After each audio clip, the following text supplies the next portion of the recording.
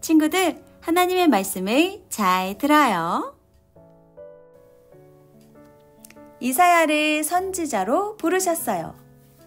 아모스의 아들 이사야는 유다의 왕들 우시야, 요담, 아하스, 히스기야까지 하나님의 말씀을 받아 전하는 선지자로 쓰임을 받았어요. 하나님께서 말씀하시기를 하늘이여 들으라 땅이여 귀를 기울이라 내가 자식을 잘 자라게 하였거늘 그들이 나를 거역하였도다. 소와 나귀도 그 주인을 아는데 나 백성 이스라엘은 나 여호와를 알지 못하고 버리며 멀리하였도다. 너희는 스스로 깨끗하게 하여 내 앞에서 너희 악한 마음을 버리고 악한 행동을 그치고 착한 행동을 배우며 정의를 구하며 학대받는 자를 도와주고 고아와 과부를 돌봐주어라. 만군의 여호와의 날이 이르러 모든 교만한 자, 거만한 자, 스스로 높이는 자에게 임하여 그들이 낮아질 것이다. 그날에 모든 우상들이 없어질 것이다. 하나님께서 이사야 선지자에게 말씀하셨어요. 그날에 예루살렘이 멸망하고 유다가 무너질 것이다. 내 백성을 학대한 악인들을 내가 심판할 것이다. 우시아 왕이 죽던 해에 이사야가 환상을 보았어요.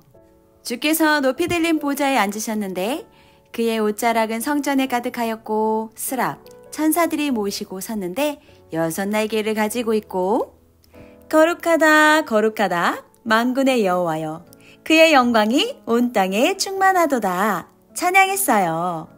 천사가 재단에서 수술 가져다가 이사야의 입술에 대며 이사야의 죄를 깨끗하게 해주었어요. 하나님께서 말씀하셨어요. 내가 누구를 보내며 누가 우리를 위하여 갈고 이사야가 대답했어요. 내가 여기 있나이다. 나를 보내소서. 여호와께서 이사야에게 하나님의 말씀을 전하라고 하셨어요. 처녀가 아들을 낳을 것이요.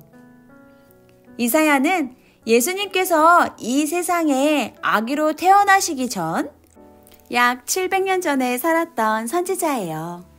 이사야는 하나님의 말씀을 듣고 사람들에게 전했어요. 주께서 친히 징조를 너희에게 주실 것이라. 보라, 처녀가 잉태하여 아들을 낳을 것이요. 그의 이름을 임마누엘이라 하리라.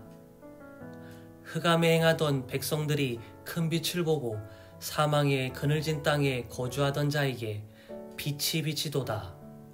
이는 한 아기가 우리에게서 낳고 한 아들을 우리에게 주신 바 되었는데 그의 어깨에는 정사를 메었고 그의 이름은 기묘자라 모사라 전능하신 하나님이라 영존하시는 아버지라 평강의 왕이라 할 것임이라 앞으로 이 땅에 태어나실 구원자 예수님에 대해 전해 주었어요. 이사야 선지자와 하나님께 기도한 히스기야 왕. 이스라엘 왕 중에 히스기야 왕은 하나님의 말씀에 잘 순종한 믿음의 왕이에요. 그는 나라 안에 하나님께서 싫어하시는 모든 우상들을 하나도 남김없이 다 파괴하고 하나님만 잘 섬긴 왕이에요.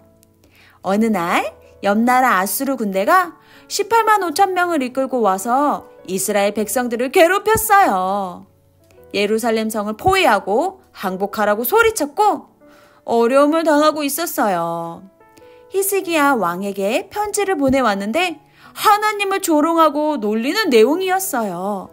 히스기야 왕은 너무 억울하고 답답해서 하나님의 성전에 가서 기도했어요. 간절히 기도했어요. 하나님 어떻게 해야 합니까? 하나님 우리를 구원해 주소서. 그때 하나님께서 이사야 선지자에게 말씀하셨어요. 내가 너희의 기도를 들었다. 내가 너희를 아수르에서 구원해 주리라. 나를 모욕했던 아수르를 망하게 하리라. 하나님은 천사를 보내셨어요. 하룻밤 사이에 아수르 군사들이 모두 죽고 말았지요.